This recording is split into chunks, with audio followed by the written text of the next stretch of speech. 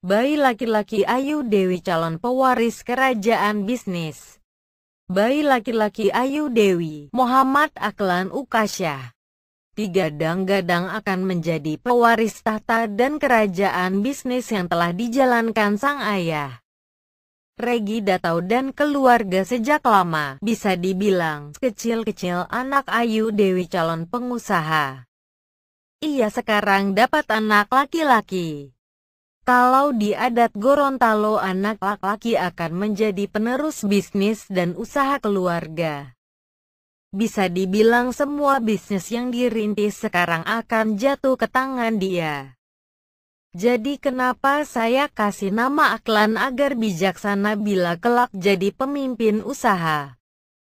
Ujar suami Ayu Dewi, Regi Datau ditemui di Rumah Sakit Pondok Indah, Jakarta Selatan.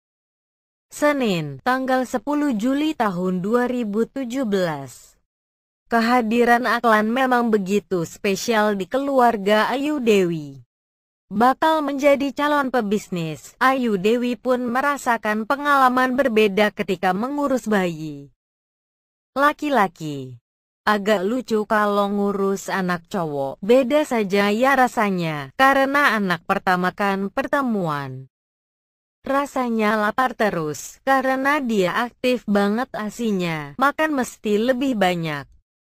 Habis lahiran aku minta daging, memberi asi kan jauh lebih lapar daripada hamil.